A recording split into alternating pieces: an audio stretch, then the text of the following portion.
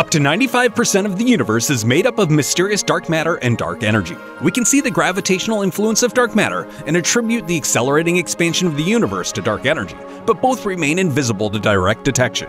We'll explore some initial results from an effort to understand the past 11 billion years of expansion history in the U.S. National Science Foundation's Discovery Files funded primarily by the Department of Energy Office of Science and mounted on NSF's 4-meter Nicholas U. Mayall telescope at Kitt Peak National Observatory. The Dark Energy Spectroscopic Instrument, or DESI, is collecting light from tens of millions of galaxies across more than a third of the entire sky, measuring their recession velocities. Over its five-year mission, DESI will create the largest 3D map of the universe ever. In the recently reported results of its first year, DESI has surpassed all previous surveys of its kind in terms of quantity and quality, observing a new set of up to 5,000 galaxies every 20 minutes, and mapping the expansion rate of the universe out to 11 billion years. Using baryon acoustic oscillations, the leftover imprint of pressure waves that permeated the early universe as a cosmic ruler, DESI astronomers can measure the spread of the ripples across several periods of cosmic history to see how dark energy has stretched the scale over time.